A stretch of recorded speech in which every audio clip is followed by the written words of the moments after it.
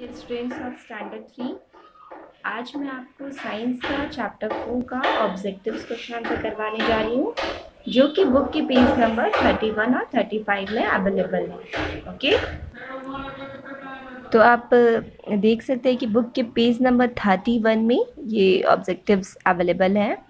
तो इसमें क्या क्वेश्चन है कि given in the box are some things around us arrange the things in the correct column इस बॉक्स में कुछ मैटर दिए गए मैटर के एग्जांपल दिए गए, जो कि हमारे आसपास अवेलेबल होते हैं। तो आपको क्या करना है कि कौन सॉलिड है, कौन लिक्विड है और कौन गैस है तो उसकी प्रॉपर्टी को समझकर आपको अलग अलग कॉलम में लिखना है।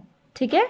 तो होप कि आप लोगों ने ये पहले ही कर लिया होगा, क्योंकि जब आप समझ चुके थे तो आपके लिए आसान होगा बट फिर भी मैं आपको एक बार चेक करा देती हूँ कि आपका ये सही है या फिर गलत है। तो देखिए आप सॉलिड में मैंने क्या क्या डाला है? Hat chair tree ice cubes and की लिक्विड्स में लिक्विड में मैंने क्या क्या डाला है? Juice milk water soup tea आपने भी सही डाला होगा। और गैस में मैंने डाला है breeze air inside a football air from the fan wind, air inside a balloon. Okay ठीक है? अब हम बुक के पेज नंबर थर्टी फाइव में आ जाते हैं असाइनमेंट्स में आ जाते हैं टेक द करेक्ट आंसर्स तो first the process by which a liquid turns into gas on heating जिस प्रोसेस के द्वारा लिक्विड जो है वो गैस में बदल जाता है गर्म होने के बाद इसको क्या बोलते हैं हम लोग? चार ऑप्शन अवेलेबल है four option are available So option C, vaporization is the correct answer. Second, things that have no fixed shape but have a fixed volume or size. The answer is liquid. Third, the process by which a solid turns into liquid on heating. Solid जो है वो liquid बदल जाता है गर्म होने पे वो process क्या है melting. ठीक है question number four butter goes runny on a hot day butter जब बहने लगता है गर्मी के दिन में ये किस चीज़ का एग्ज़ाम्पल है So this is example of this is an example of melting. Fifth, the process by which a liquid turns into solid on cooling liquid solid में बदल जाएगा ठंडा होने पर वो क्या कहलाएगा? फ्रीजिंग आप सबने अच्छे से पढ़ा और समझा है तो आप सारे बच्चे बिल्कुल सही बनाए होंगे। ठीक है?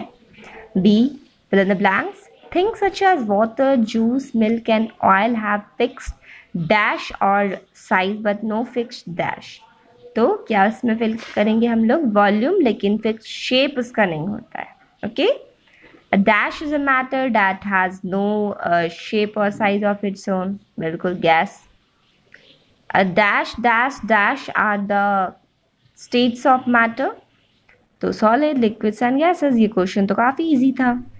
Dash is anything that has and uh, takes up space. So the answer is matter. Dash is the process, fifth dash is the process by which a liquid turns into solid on cooling. फिर से ये question है। तो answer is freezing okay अभी हमने ऊपर देखा था द करेक्ट ऑप्शन में और ये फिल इन द ब्लैंक्स में भी सेम क्वेश्चन है। Dash have a fixed shape and size and do not flow बिल्कुल ईजी सॉलिड्स फिक्स शेप और साइज़ होता है और ये फ्लो नहीं करता है।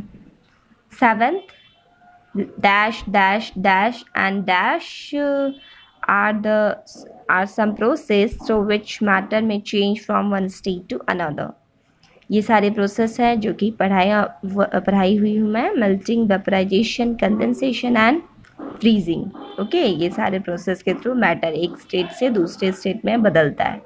अब हमारा लास्ट क्वेश्चन आ गया that is match the following तो दो कॉलम दिए गए हैं तो मेल्टिंग को मैंने किसमें मैच किया है? Ice turns into water evaporation को मैंने किसमें मैच किया है? Water turns into vapour mixture of different gases जिस डिफरेंट गैसेस का मिक्सचर क्या है? Air fourth pencil pencil is a solid and fifth oil is a liquid hope आप सबने भी करेक्ट बनाया होगा, क्योंकि बहुत इजी ऑब्जेक्टिव्स क्वेश्चंस थे तो आप एक बार बस मैच कर लीजिएगा। और जिन बच्चों ने नहीं बनाया है वो बच्चे बना लेंगे देखकर और इसके साथ रिमेंबर करना भी शुरू कर देंगे। ऑब्जेक्टिव्स भी बहुत इंपॉर्टेंट है और जिनके पास बुक नहीं है तो वो नोटबुक में नोट डाउन करके रिमेंबर करेंगे। Till then take care thank you